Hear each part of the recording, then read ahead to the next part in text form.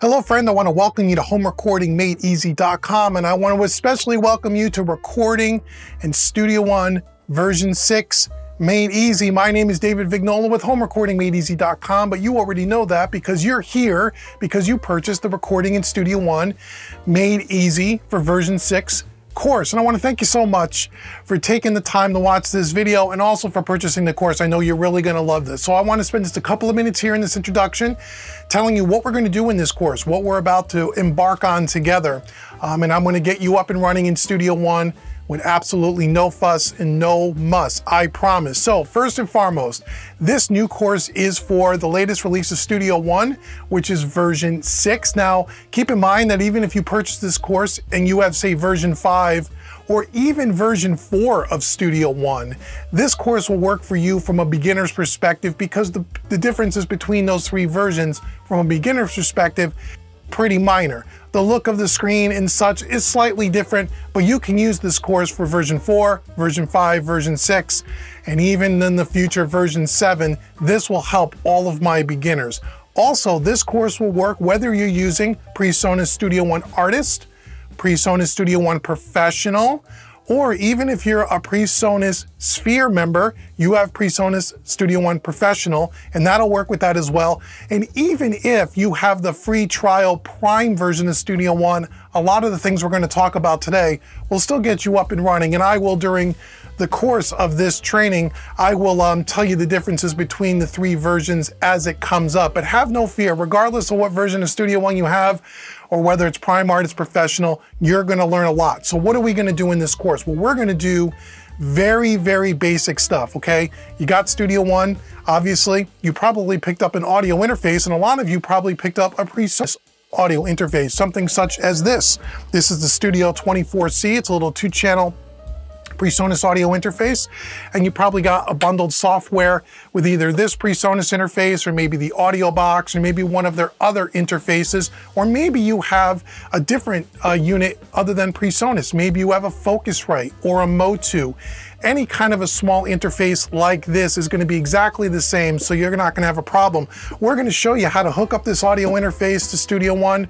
We're gonna show you how to properly get Studio One downloaded with all the extra goodies and installed on your computer. And then I'm gonna take you through the very basics of recording.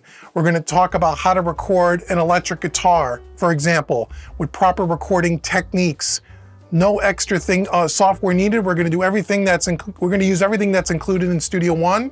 I'm going to teach you how to record an acoustic guitar, how to record a bass guitar, a couple of different ways you can use drums uh, in Studio One, whether it's with loops or third-party software programs, or even if you wanted to kind of program your own drums with some kind of a MIDI controller, such as the PreSonus Atom here. We're gonna take a look at this a little bit as well. I'm gonna show you how to hook this up with Studio One, as well as a little MIDI keyboard. So I'm gonna take you through how you record different types of instruments, how you get things hooked up in Studio One, to give you just a basic foundation of how to get good, solid recording into Studio One, how to export your song when you've created your song, and I'm gonna show you some tips tricks and some workflow things around Studio One as we go. So if you're an absolute beginner, this is gonna be perfect for you and that's what this course and who this course is geared towards. This is not a songwriting course.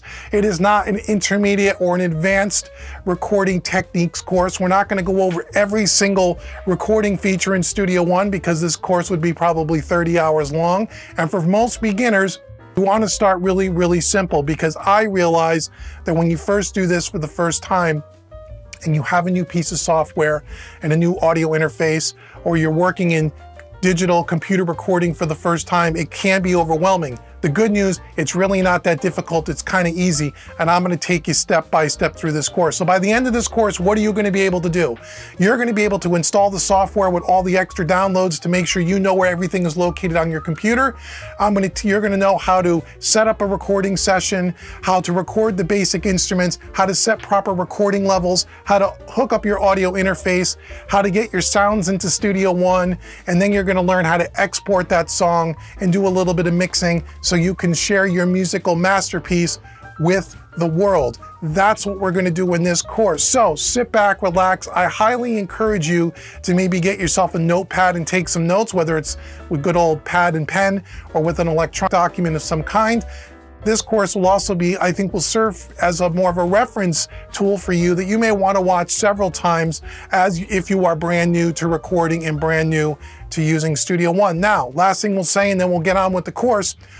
Once you've done some recording and you're going to be ready to mix your music, I highly recommend that you take a look at my Mixing in Studio One course. There'll be a separate course image that'll come up on the screen here. You can get that at homerecordingmadeeasy.com. That'll teach you the basic foundation and the basic fundamentals of getting really great sounding mixes only using the software and the plugins that come along with your version of Studio One. So you want to check out Mixing in Studio One Made Easy. Also, although we're going to go through a lot of the basic startup functions here in this course, if you really want to learn how to navigate around Studio One, you want to learn about what all the different tools do, all the different screens do, all the different buttons do on each screen, you may want to check out my PreSonus Studio One Beginner's Guide as well. That is really just showing you from the time you open Studio One how to navigate and work around Studio One really, really easily. Now we're going to do some of that in this course as it pertains to recording but the PreSonus Beginner's Guide really goes in a lot more detail to help you feel more comfortable just working around and navigating through Studio One. So between the PreSonus Studio One Beginner's Guide, mixing in Studio One, and now this course, recording in Studio One, you'll have everything you need to not only record great sounding music, mix great sounding music, and feel comfortable and confident working inside of PreSonus Studio One, especially Studio One version 6. So once again, I've been Dave. Thank you so much. I'm looking forward to working with you throughout this course. So get yourself a cool drink, get yourself some way of taking some notes, and come on back for the next section. And we're gonna start to jump into looking at how we get everything installed on our computer, Studio One. I'll see you in the next one.